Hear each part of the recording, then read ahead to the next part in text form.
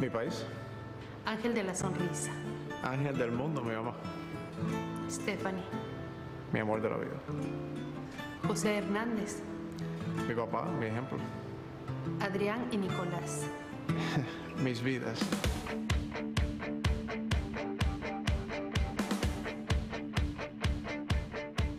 Marlo, ¿cómo fue tu infancia?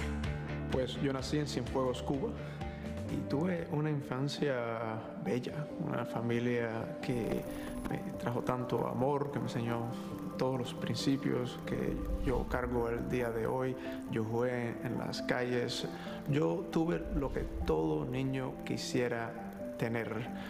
Y mis hijos hoy en día tienen la parte material, pero quizás no tienen esa parte de la vida sencilla, también de valorar lo que es el sentido de familia cuando no tienes nada, cuando tienes que compartirlo todo, ah, cuando eh, uno tiene ambición y no puede realizarla, pero lo tiene todo que llena y da alegría por las personas que lo rodean. En 1992 tus papás deciden huir de la isla Sí. buscando la libertad, buscando un futuro mejor para ustedes, para su familia. ¿Cómo fue esa travesía? Mis padres tomaron la decisión bien fuerte de dejarlo todo, dejar sus familias enteras, eh, su lenguaje, eh, su cultura, sus profesiones, para ir a trabajar en lo que encontraban por el propósito de dar la libertad a sus niños y oportunidad, pero tuvieron que salir solos y era bien difícil, pues estábamos conscientes que mis padres no estaban y había un chance de no verlos de nuevo. Yo tenía siete años cuando ellos se fueron, mi hermano tenía seis. Gracias a Dios, al año próximo pudimos salir por un tercer país, pero sí me acuerdo, y esa memoria nunca se me va a ir, de ver a mi familia, de, de llorar, de esa emoción tan, tan fuerte. ¿Qué recuerdas cuando llegaste a Estados Unidos? ¿Hablabas algo de inglés? Yo no hablaba nada de inglés, pero nada de nada. Cat y dog. eran Ah, estabas hecho. Dos palabras. Aprendí una frase bien fácil y bien rápido. I don't speak English. Y esa era la frase que yo usaba continuamente en la escuela, etc. Al mismo tiempo, cuando llegué a la escuela, me impresionó tanto que aire acondicionado, la electricidad no se va, la agua no se va. Um, aquí hay comida que uno puede comer. Um, las cosas cambian mucho cuando nosotros llegamos a este país. José Hernández. Él es arquitecto y cuando llegó a este país, obviamente, como tú nos cuentas, hizo muchísimos sacrificios. Yo creo que mi papá, como muchos papás inmigrantes, o bueno, muchos papás eh, luchadores, quizás tienen el, el récord de más trabajo y más diversos trabajos en un tiempo tan corto. En esos 10 años quizás él trabajó en 30 diferentes trabajos. Me acuerdo que, por ejemplo, él empezaba en la construcción por la mañana, cuando había. Después se iba para Jiffy Lube, si se acuerda, a cambiar aceite de los carros. Y por la noche se ponía a hacer delivery de pizza o de pollo.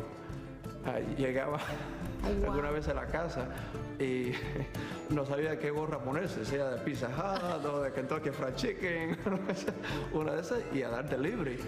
¿Y cuál es el mejor consejo que te ha dado que hasta el momento no se te olvida? Fíjate que él nunca pensó que, o trató que yo lo siguiera a la construcción, pero me dijo, mira, lo que tú hagas, que valga la pena, que sea para el bien, que contribuya a la familia, a la comunidad y que tú seas el mejor en eso. Lourdes María Cano era odontóloga en Cuba Sí. y tuvo que llegar a este país a revalidar su título profesional en otro idioma. ¿Cómo fue ese esfuerzo? Mi mamá es una heroína.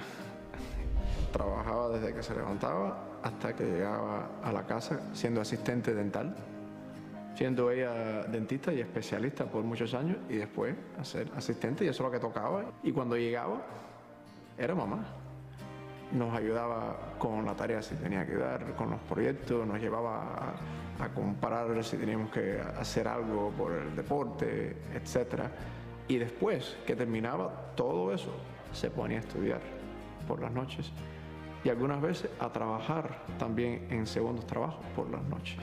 ¿Qué es lo que más admiras de tu mamá? Su dulzura. Para ella no existe otra manera de hablar conmigo, hablar con mis hijos, hablar con el resto de la familia, con sus pacientes, que con dulzura, con compasión, con empatía. Tú estudiaste medicina inspirado en tu abuelita, porque le hiciste un juramento. Correcto. Mi abuela, que en paz descanse, Evangelina Quintana, padeció muchos años de diabetes y de otros problemas de salud.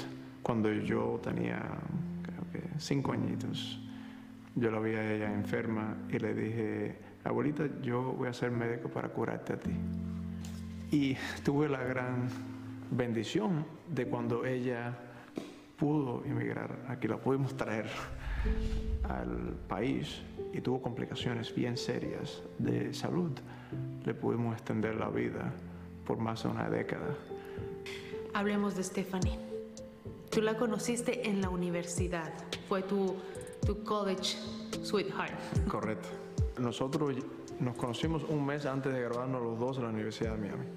Entonces, cuando le propuse el matrimonio, como no tenía um, nada que ofrecerle o, mucho que regalarle fuera del uh, anillo que me costó dos años y medio pagarlo, un anillo modesto, eh, eh, eficiente en costo, vamos a decirlo así, pero me duró dos años y medio. Yo le simplemente le regalé esto que es un cover de, de pasaporte. pasaporte. ¿Por qué le regalaste eso? Bueno, porque ella sabía que yo la quería. Y le digo, mira, no tengo nada que darte hoy, pero te prometo mi amor y te prometo el mundo. Tienen dos hermosos hijos, Adrián y Nicolás, sí. que por cierto te diviertes muchísimo con ellos. Mis dos niños son mis vidas y al mismo tiempo dos personas tan diferentes y con tanto talento. Su velocidad, su fuerza. Inicialmente yo podía jugar con ellos un poco más de manos, eh, enseñándole para que se puedan defender. Ahora tengo que tener cuidado porque la verdad es que dan duro. No me digas. Los, los dos. Y hablando de los deportes, ¿ellos saben que tú eres un pelotero frustrado? Ellos lo saben. Ellos lo saben. Tu historia es sinónimo de lucha y de éxito. Solo con 36 años, Marlon, eres el dueño de la corporación de salud más exitosa y de mayor crecimiento de Estados Unidos. ¿Valió verdaderamente la pena ese sacrificio de tus papás? Pues pasamos unos años bien difíciles cuando inicialmente creamos la primera clínica. Teníamos un loan que es necesario de General Electric y General Electric el día después que habíamos firmado 10 años y yo personalmente garantizado esos 10 años nos quitan el loan. Quiere decir que no hay entonces dinero para construir la clínica. Yo lo único que tengo son deuda estudiantil. Entonces, entonces, ¿qué hago? Tengo un lease firmado y garantizado por 10 años a 16 mil dólares al mes. Y ahí es donde viene ese, esa enseñanza esa perseverancia, ese espíritu de, bueno, buscamos el dinero abajo de la tierra. Y así lo hicimos. ¿Cómo te sientes? Un, un gran honor, un gran honor, pues siendo la segunda empresa hispana y también la empresa hispana o no más grande de cuidado primario en todo el país. Más del 80% de nuestros asociados, nuestros empleados en la empresa, más de 3.000 somos hispanos, somos minorías. Nuestro board de directores son mayormente latinos, mayormente minorías. De Cienfuegos a Wall Street. Una gran bendición. Quiero que me digas qué sentiste cuando sonó esa campana. Es ah, algo que es difícil de describir, pero en adición a toda la, la, esplendura que es ese lugar, la, historia es también una responsabilidad. Es una responsabilidad tan grande. es un sueño pero tengo 3.000 familias, nuestros asociados, en mis hombros y más de 196.000 pacientes. 2.5 millones de pacientes van a vernos este año y mucho más el año que viene. Eso es una gran responsabilidad que ese día más que nunca la sentí en mis hombros. Y por si fuera poco, eres uno de los 50 líderes latinos con más proyección en este país. ¡Wow! Yo represento a muchos latinos, a muchas personas en nuestra empresa, siendo uno de esos 50, porque conmigo están tantas personas excepcionales. Hemos hablado de mi familia. Yo no estoy aquí sin mi familia. Yo no estoy aquí sin esa comunidad de inmigrantes que me es difícil y no es por falsa humildad eh, darme el crédito por Cano o por uno de esos 50. ¿Cuál es tu mayor sueño? Pues para mí la salud es un derecho, no un privilegio. Y yo tengo que hacer mi parte. Yo quiero poner mi granito de arena y ser parte, hacer mi parte consistente con mis valores pues ah, es lo que se merecen mis pacientes y lo que me enseñó mi familia. Ahorita para el Definitivamente, doctor Cano, muchísimas gracias por abrirnos su casa, su corazón, por llenarnos de orgullo. Y bueno, Raúl y Mikey, para los que quieren saber como yo, ¿por qué Cano y no Hernández Health, como es el apellido de él? El doctor Marlon me contestó, porque en la medicina mi inspiración siempre fue mi mamá y tiene su nombre por la bondad con la que ella siempre trató a sus pacientes. Además, excelente hijo. ¿Qué les pareció? Increíble, Paola.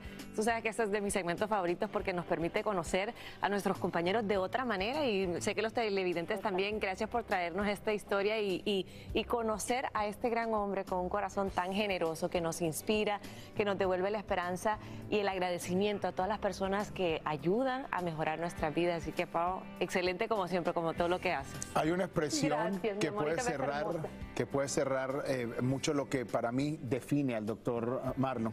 Y es, es un ser de luz, es un tipo congruente en su vida, es un tipo que tiene muy clara su misión, su responsabilidad, la pasión que tiene por servir y ayudar a los demás. Hace tiempo que no lo vemos en el estudio, por supuesto, por cuestiones de la pandemia, pero conocerlo, estrechar su mano, conversar con él es rectificar lo grande que es. Gracias, doctor Cano, por ese gran ejemplo. Y gracias a ti, Paola, por desnudar su alma. Gracias, Pau.